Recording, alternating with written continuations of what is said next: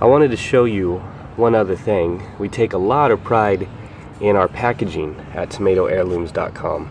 We package each plant individually in its own box, in its own container, and each container um, is packed so well that even if it was flipped upside down, the plant and the, any of the dirt does not come out. Um, let me just open this up really quick. Now each plant comes in, in a box like this. Each one is wrapped in plastic with with the tie. So basically nothing bad can happen to the plant during shipping. Remember, this is from tomatoheirlooms.com. Bye-bye.